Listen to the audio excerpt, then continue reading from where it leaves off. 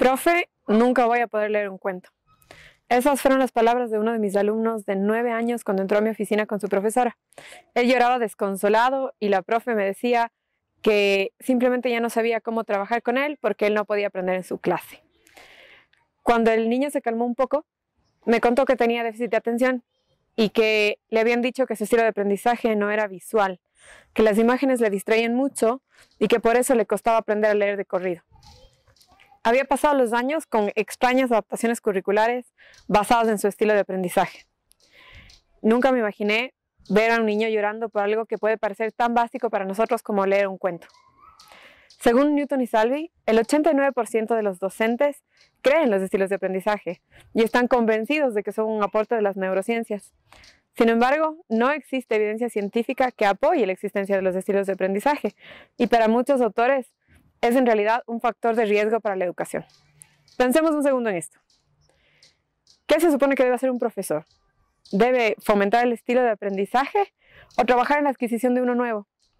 Se podría generar desmotivación en los alumnos que quieren ser músicos y simplemente no tienen un estilo de aprendizaje auditivo o como mi alumno que quería leer y no tenía un estilo de aprendizaje visual.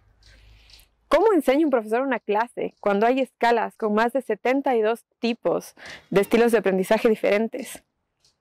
Las neurociencias son uno de los campos de mayor interés para los maestros, pero muy pocos reciben formación en esta área. Pero ¿quién no ha escuchado sobre los estilos de aprendizaje? O que el hemisferio izquierdo es el lógico y el derecho es el creativo que los artistas tienen el hemisferio derecho más desarrollado, o que Einstein utilizaba el 15% del cerebro, mientras nosotros los mortales solo utilizamos el 10%. Déjenme decirles que nada de esto es verdad.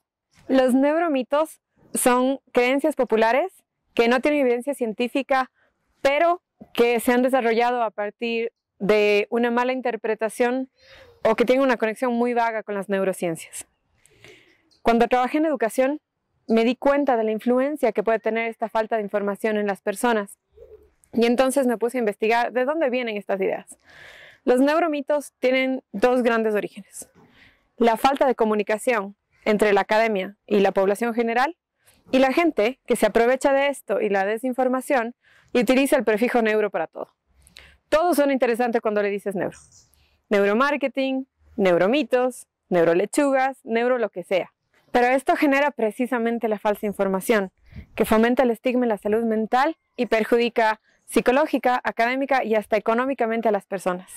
Es un círculo vicioso porque aumenta la brecha de la desinformación. Entonces las personas intentan aprender algo, encuentran esta falla de comunicación entre la academia y el público general y se convencen de la información que tienen disponible, sea verdadera o no. Y entonces empezamos de nuevo.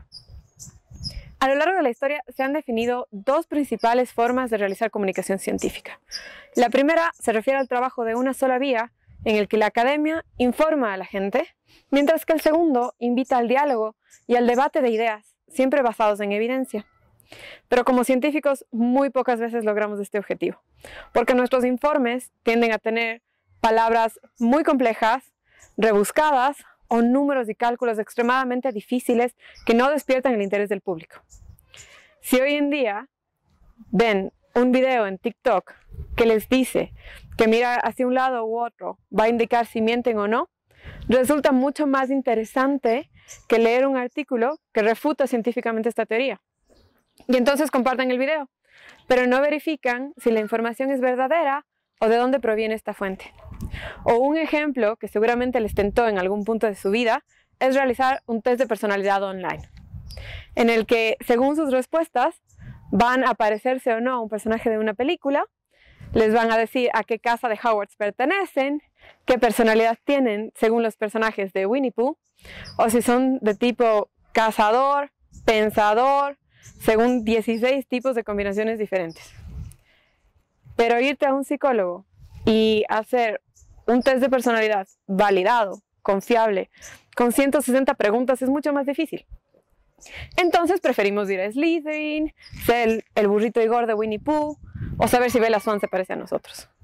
Por eso la ciencia tiene que volverse asequible para la comunidad.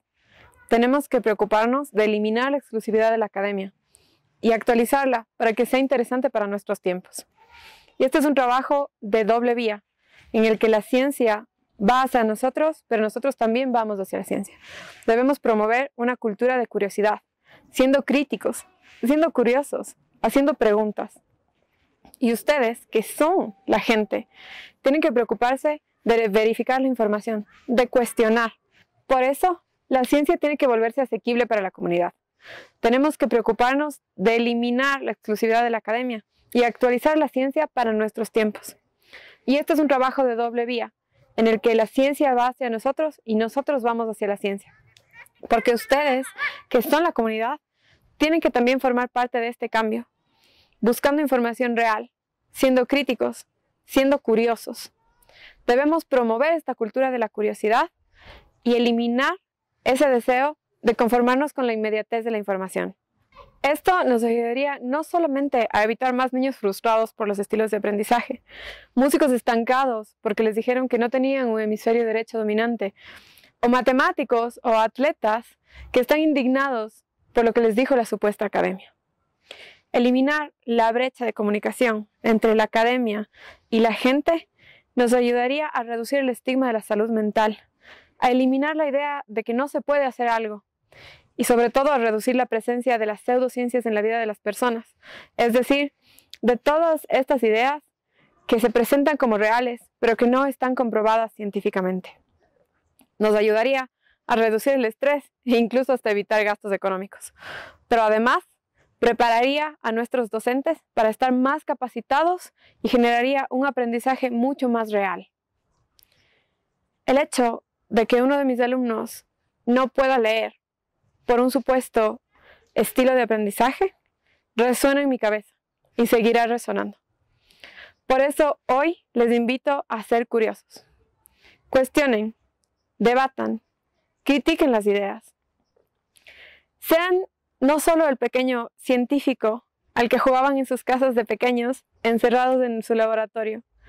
Salgan y sean la voz de la academia en sus hogares, en sus escuelas, en sus trabajos. Vuélvanla interesante para que pueda cumplir su objetivo de servir a la comunidad, porque hoy es hora de liberar a la ciencia.